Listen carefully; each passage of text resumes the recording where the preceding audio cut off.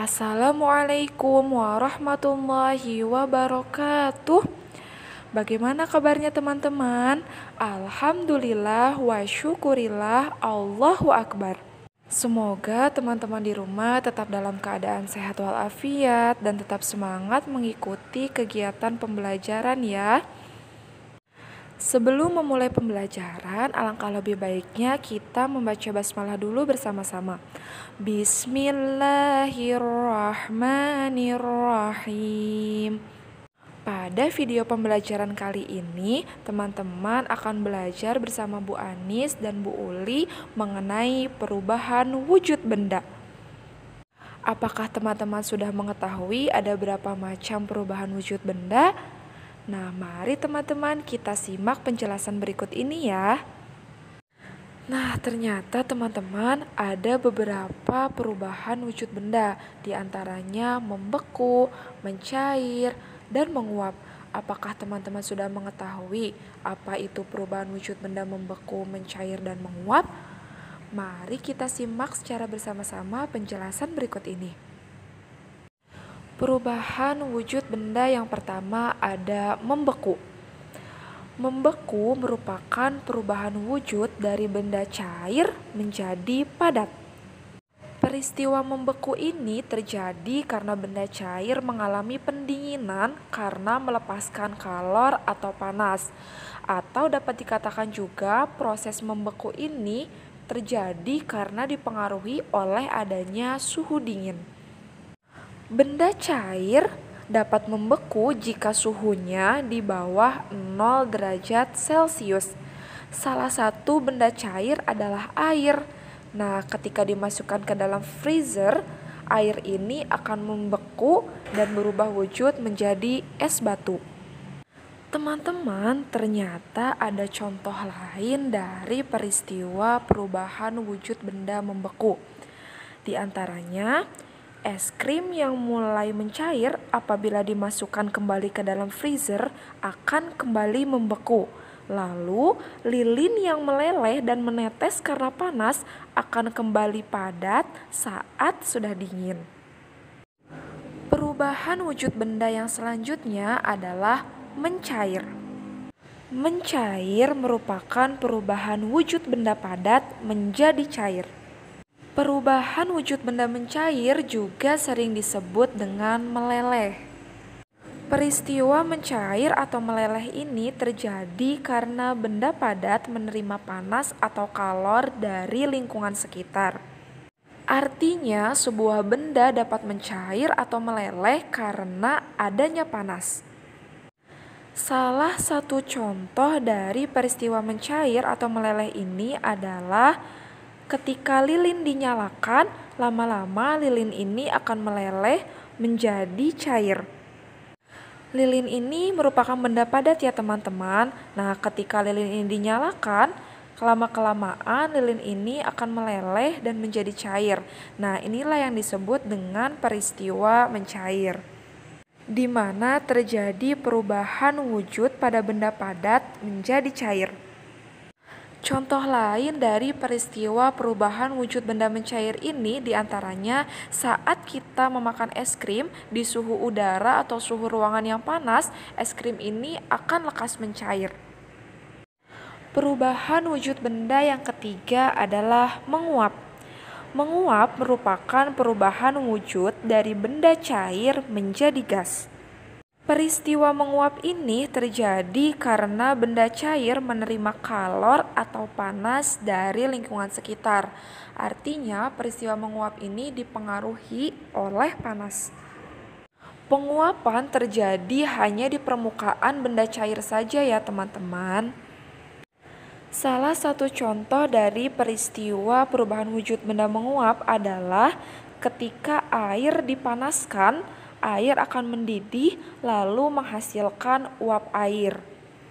Di mana air ini merupakan salah satu benda cair yang kemudian berubah menjadi gas, di mana gas ini berupa uap air. Contoh lain dari peristiwa perubahan wujud benda menguap ini di antaranya kita bisa melihat contoh penguapan ini di tubuh kita teman-teman. Saat kulit kita mengeluarkan keringat, keringat menguap dan mendinginkan tubuh kita. Lalu kita juga bisa lihat peristiwa penguapan ini pada makanan dan minuman yang masih panas. Selain ketiga perubahan wujud, mencair, membeku, dan menguap, masih terdapat tiga peristiwa perubahan wujud, yaitu mengembun, menyublim, dan mengkristal atau deposisi. Yang pertama, peristiwa mengembun. Mengembun adalah perubahan wujud dari benda gas menjadi cair. Peristiwa mengembun berkebalikan dengan peristiwa menguap. Apabila menguap, berubahnya benda cair menjadi gas. Nah, kalau mengembun itu adalah e, dari wujud benda gas menjadi benda cair. Mengembun terjadi karena benda gas mengalami pendinginan sehingga melepaskan kalor atau panas. Salah satu contohnya adalah munculnya titik-titik air di atas daun pada pagi hari. Yang kedua adalah peristiwa menyublim. Menyublim adalah perubahan wujud dari benda padat menjadi gas. Menyublim terjadi karena benda padat menerima kalor atau panas dari lingkungan sekitarnya. Ukuran dan berat benda yang menyublim lama-kelamaan akan mengecil atau berkurang. Pernahkah teman-teman mengamati kapur barus yang diletakkan ibu di dalam lemari untuk melindungi pakaian dari ngengat? Kapur barus di lemari pakaianmu dalam beberapa hari akan mengecil dan akhirnya habis. Kapur barus tersebut akan berubah menjadi aroma harum. Kapur barus adalah zat padat berupa lilin berwarna putih dan transparan dengan aroma yang khas. Kapur barus dihasilkan oleh pohon kapur barus. Batang pohon itu harus dibelah untuk mendapatkan kristal getah yang tersimpan di dalam batang. Kristal kapur dulunya ditemukan saat orang menebang pohon untuk keperluan rumah atau membuat kapal. Ketika bahan ditebang, batang itu mengeluarkan getah dan jika dibiarkan akan mengering menjadi kristal. Kristal-kristal itulah yang akan dibuat padatan menjadi kamper. Selain pada kapur barus, es kering juga merupakan benda yang mengalami proses perubahan benda secara menyublim. Es kering adalah bentuk padat dari karbon dioksida yang biasanya digunakan sebagai pendingin. Keuntungan dari es kering adalah suhunya lebih rendah daripada es dari air dan tidak meninggalkan sisa apa pun. Es kering juga disebut dengan dry ice atau biang es. Hal-hal yang dibutuhkan untuk membuat es kering antara lain tangki karbon dioksida atau alat pemadam kebakaran berisi CO2, sarung tangan, sarung bantal, kacamata pelindung, toples atau mangkuk atau kantung plastik es, dan plester atau perekat yang kuat. Biang es akan berbentuk seperti remah-remah styrofoam berwarna putih. Jangan menggenggam es kering terlalu lama karena es ini bisa melukai jari tangan meskipun telah dilindungi sarung tangan. Es kering biasanya disimpan di dalam kontainer terisolasi karena bila terkena udara, es ini segera melepaskan karbon dioksida. Es kering yang terkena udara akan menyublim. Sebagian es kering berubah menjadi uap sehingga menimbulkan kabut. Oleh sebab itu, es kering juga sering digunakan untuk menghasilkan kabut buatan dalam berbagai pertunjukan. Yang ketiga adalah peristiwa mengkristal atau deposisi. Mengkristal adalah perubahan wujud dari benda gas menjadi benda padat. Peristiwa mengkristal berkebalikan dengan menyublim. Mengkristal terjadi karena benda gas mengalami pendinginan sehingga melepaskan kalor atau panas. Salah satu contohnya adalah pembentukan salju. Pernahkah kalian melihat salju? Sebenarnya salju adalah uap air yang telah membeku menjadi es disebabkan rendahnya suhu di atmosfer dan bumi. Mengapa salju bisa terbentuk? Awal pembentukan salju adalah naiknya uap air ke atmosfer bumi dan uap tersebut mendingin sehingga membentuk air atau es, kemudian menggumpal membentuk awan. Uap air terus bertambah hingga awan pecah dan partikel tersebut turun ke bumi. Perubahan uap air yang merupakan benda gas menjadi padatan kristal salju itulah yang disebut mengkristal. Selain pembentukan salju, proses mengkristal juga terjadi pada proses pembentukan garam.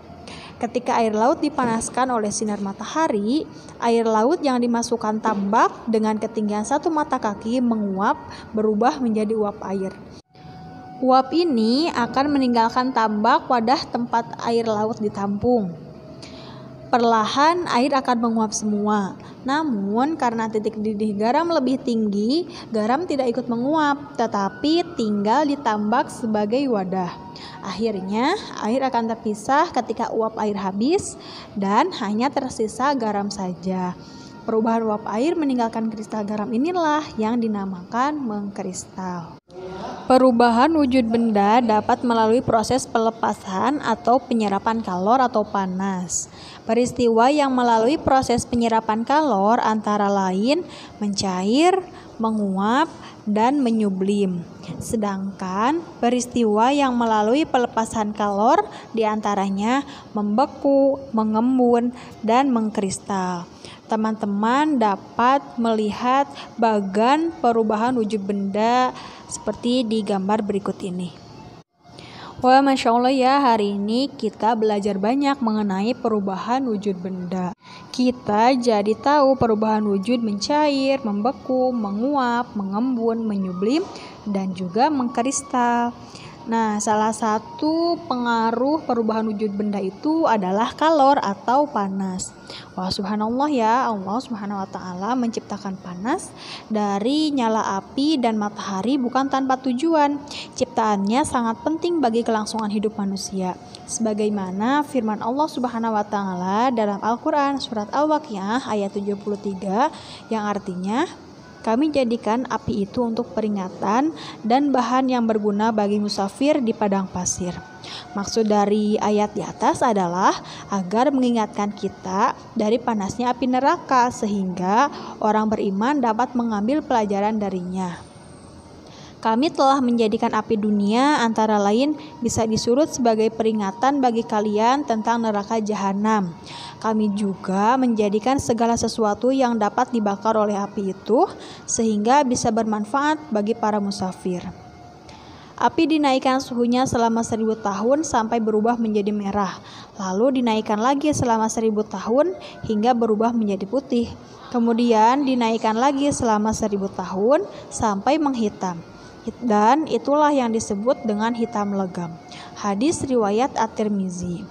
Lalu bagaimana bisa Rasulullah Shallallahu Alaihi Wasallam mengetahui bahwa api akan berubah warna apabila suhunya dinaikkan? Padahal di zaman Nabi belum ada yang mampu melakukan penelitian. Itulah salah satu kebenaran dari ucapan Muhammad Shallallahu Alaihi Wasallam. Mana mungkin Rasulullah Shallallahu Alaihi Wasallam bisa mengetahuinya jika tanpa petunjuk dari Allah Subhanahu Wa Taala. Kita tidak akan menjumpai api hitam legam di bumi ini karena api ini merupakan api paling panas yang hanya ada dalam neraka. Rasulullah Shallallahu Alaihi Wasallam bahkan menggambarkan bahwa api yang ada di dunia ini merupakan 70 bagian dari panasnya api neraka. Jadi, panas yang diciptakan Allah Subhanahu wa taala harus dimanfaatkan sebaik-baiknya ya, teman-teman. Dan sudah selayaknya kita bersyukur karena manusia tidak bisa menandingi ciptaan Allah Subhanahu wa taala. Api yang sangat panas bila kita menyentuhnya menjadi pengingat supaya kita mengetahui tentang dahsyatnya panas api neraka. Allahu a'lam bishawab. Terima kasih atas perhatiannya. Wassalamualaikum warahmatullahi wabarakatuh.